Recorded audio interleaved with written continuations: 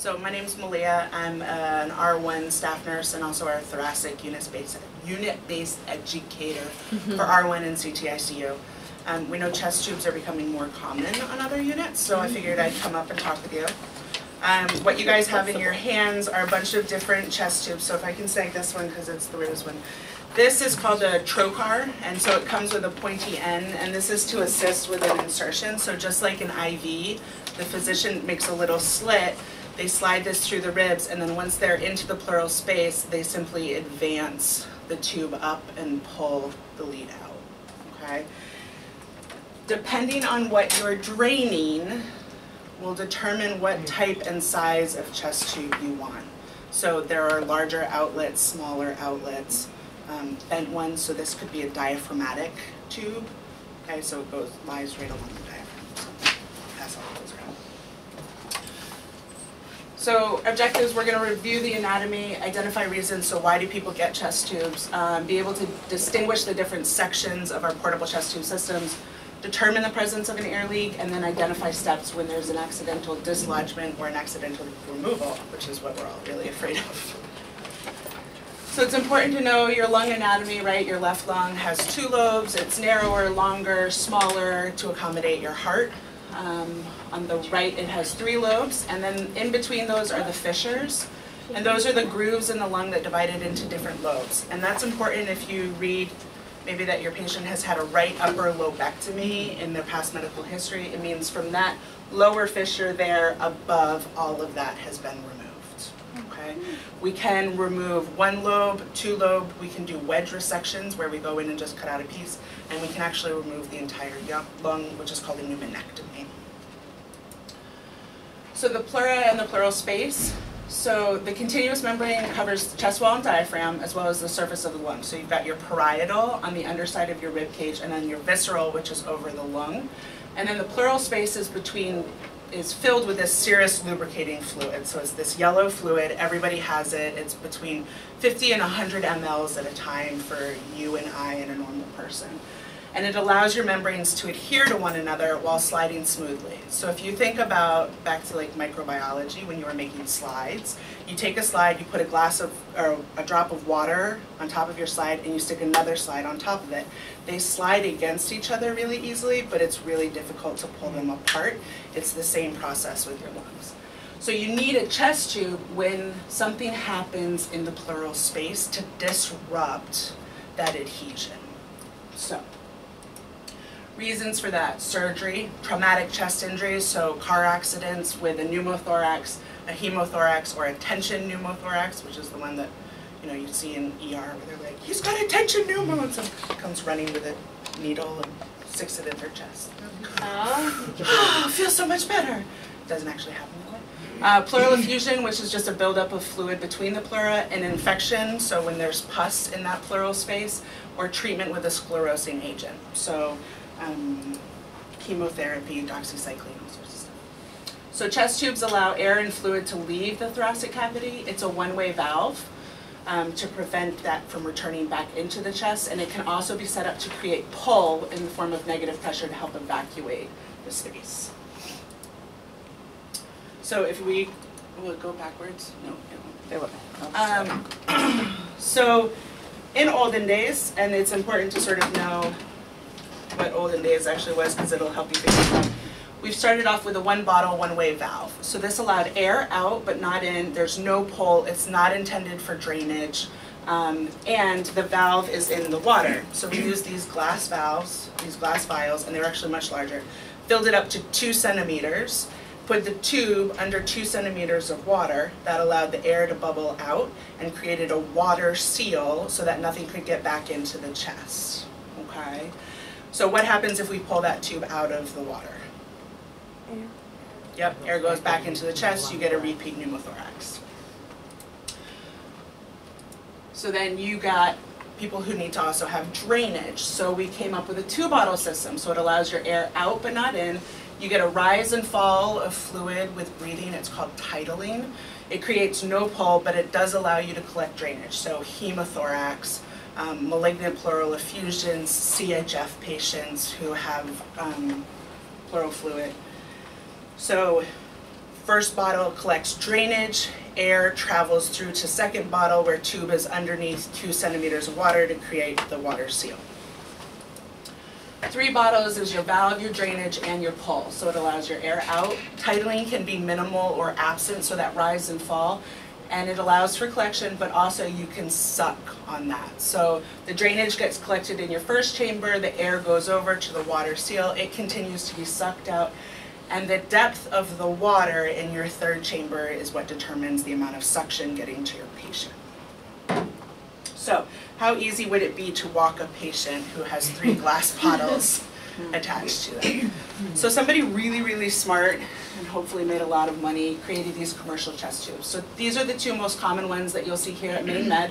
Um, both are made by Teleflex. They're the Pleur-evac wet and the Pleur-evac Plus, which we also call the dry suction. Have you guys seen both of those or just one? I've only seen the wet. Okay, just the wet. That is the most common one that you guys will see. Occasionally, you will see the other one if we run out of the Pleur-evacs. But all of them are still based on that three bottle system. So that first bottle is for your drainage. The second bottle is for your water seal and the third bottle is for your suction. They make it really easy. So your first bottle is white, drainage. Second bottle is red, water seal.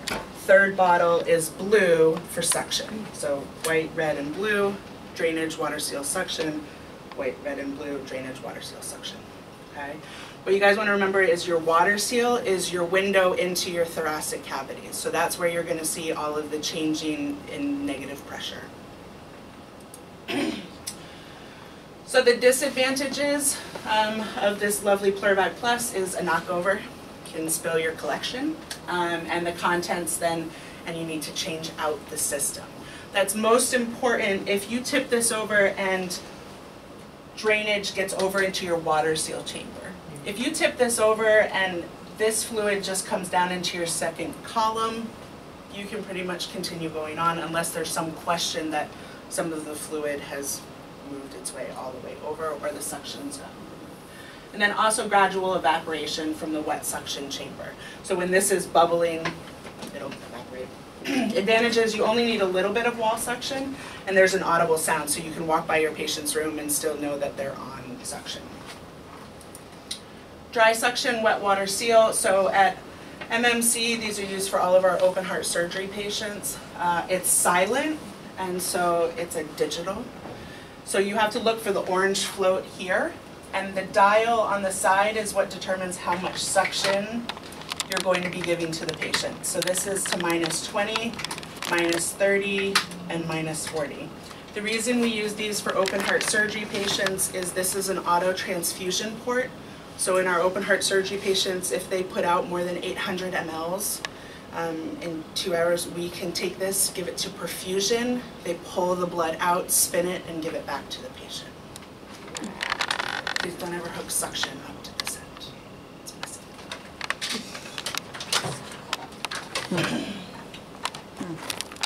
Um, that gets tipped over, it's totally okay. And occasionally you will see this with trauma patients. So somebody who has a really big air leak that maybe the minus 20 of suction just isn't enough for, they'll ask for a higher amount of suction and you would want to go to the Pleur-evac Plus. the Mini 500 is also a great new invention. So patients who have air leaks, it used to be that you were in the hospital until your air leak resolved. We created this little ambulatory chest tube system. It hangs on a belt. It's a dry suction, dry water seal. So we use it with patients who have persistent, small to moderate, stable air leaks so that they can go home and heal in their own home. So they sleep in their own bed, they eat their own food. Um, and we also use it for patients who have malignant pleural effusions with high chest tube output who don't tolerate intermittent thoracentesis. So intermittent drainage, they need to have the continuous drainage because it's pretty great because they can just disconnect this, pour the contents into the toilet, reconnect it, and undo their slide.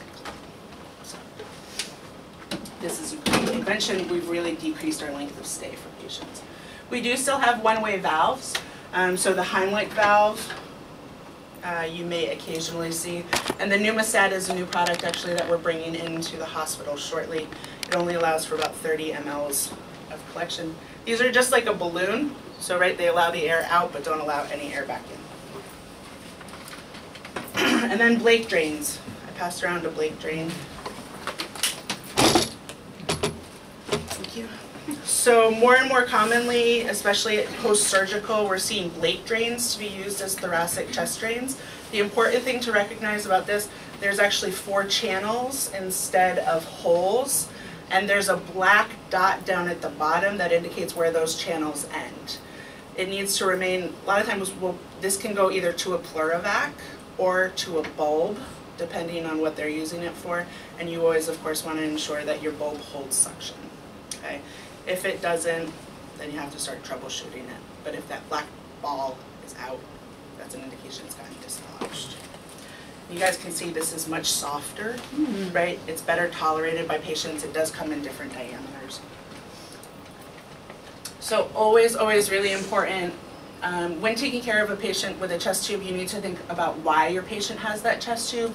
And then there are some key assessments of the patient. So always be thinking about, is it because of air or is it because of fluid that your patient needs to have the chest tube? The order sets can be a little bit um, strange, especially if they're not used to looking at them.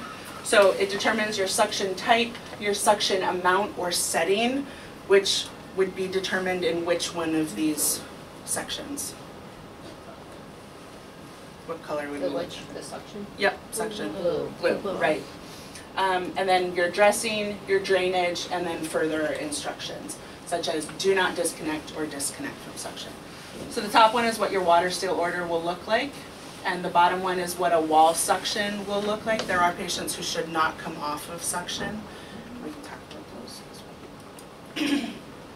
So always when you're assessing your patient with a chest tube, you want to go all the way from the patient to the wall.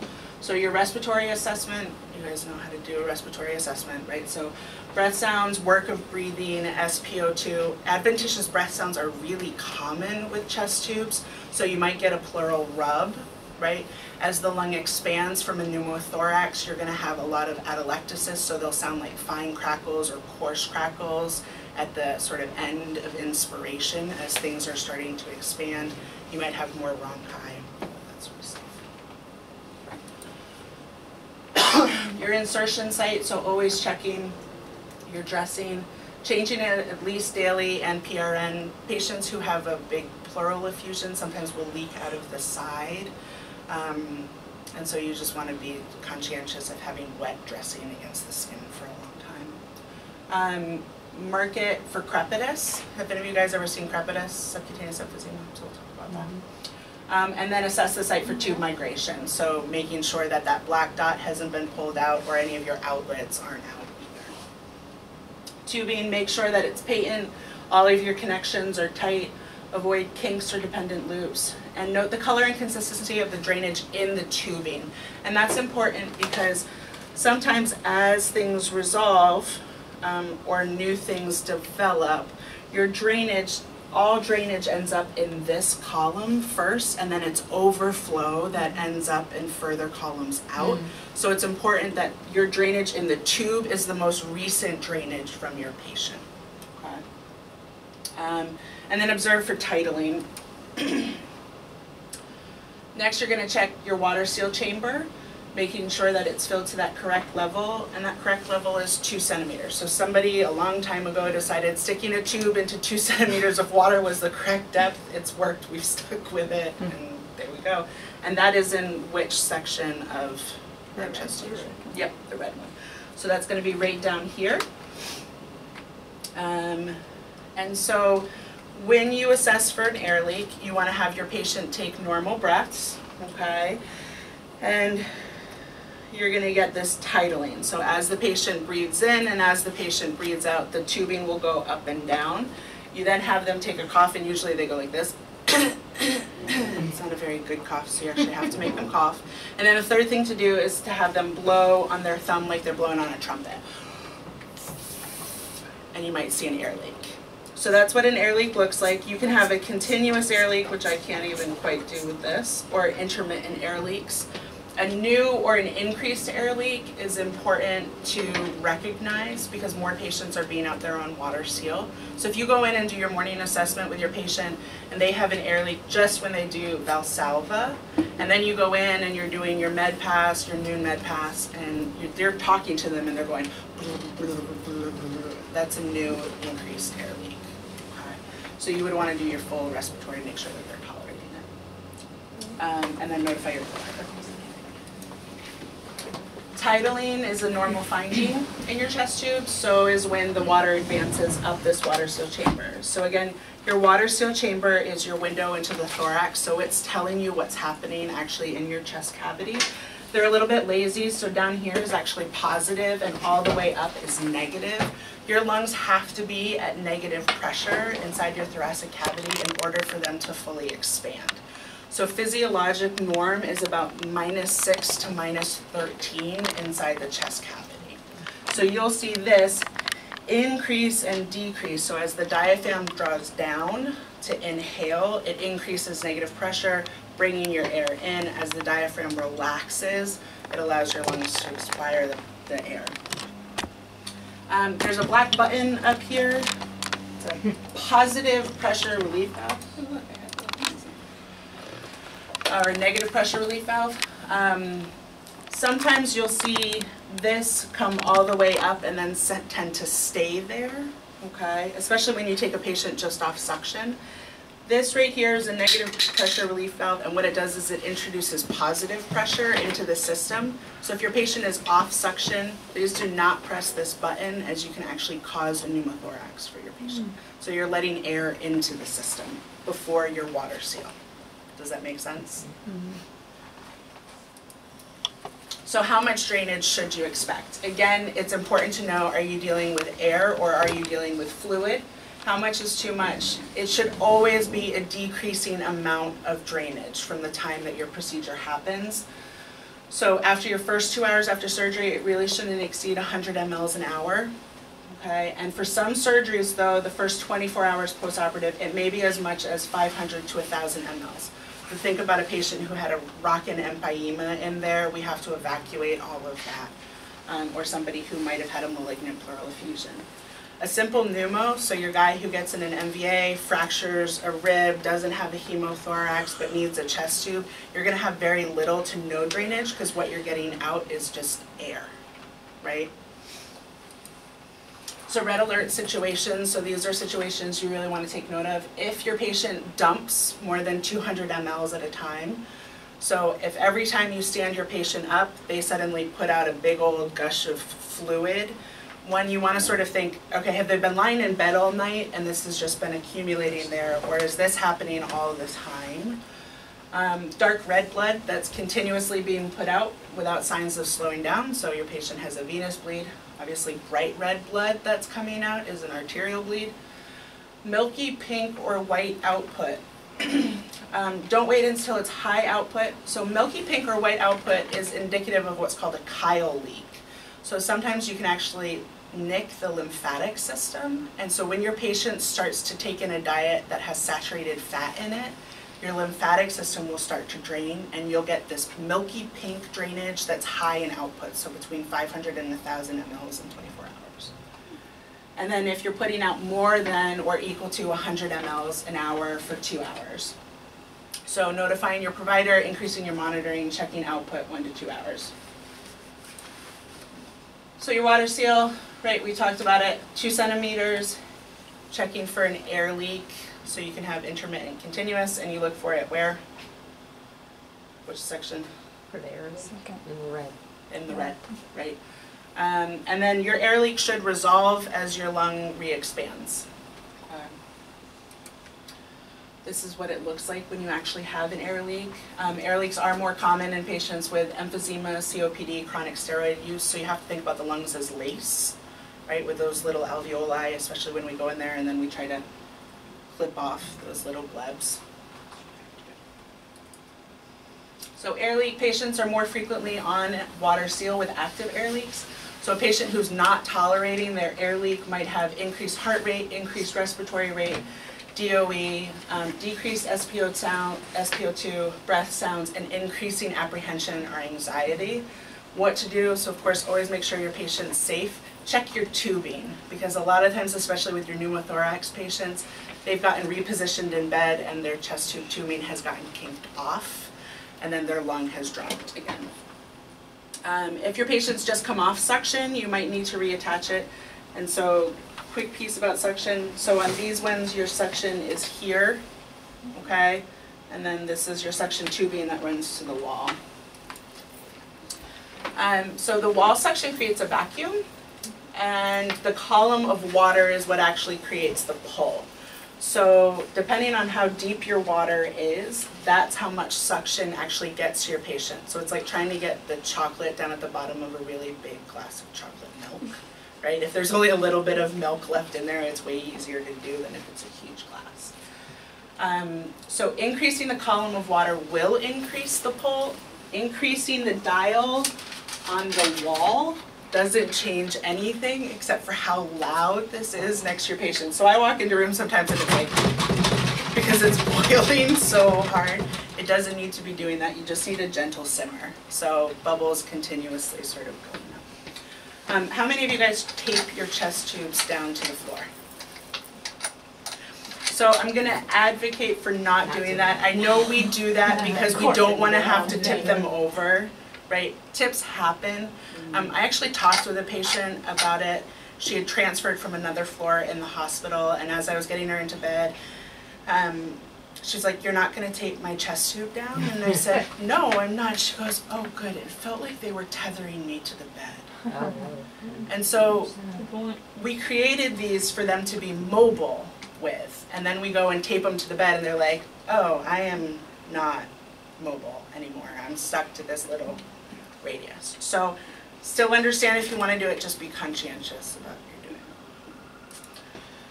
you're doing. Um, so again, keeping it for continuous bubbling. You do need to check it briefly, so just by kinking off your suction here, because this water will evaporate, okay? So filling and replacing water. How many of you guys know how to do that? There you go. It's like a little funnel thing. Yeah, so usually there's a funnel, obviously that funnel disappears a lot, so you can always use a sixty ml syringe. Um, and you just pop the end out of the back of your syringe. Um, so this one is overfilled, okay, so I got a little aggressive. What I can actually do is clean the hub here, put in a blunt needle and pull that fluid back, so it comes back down to minus twenty. You can do the same thing if you overfill into your twenty there. And then you undo your plug here, put your filter in, pour in your fluid until you get to the line that you need. Now, the, the tip of the day is when you're filling that 20 centimeters one, and obviously, please call us to change over chest tubes, okay? We don't want you guys doing that on your own. Um, but one of the tips is you actually put the funnel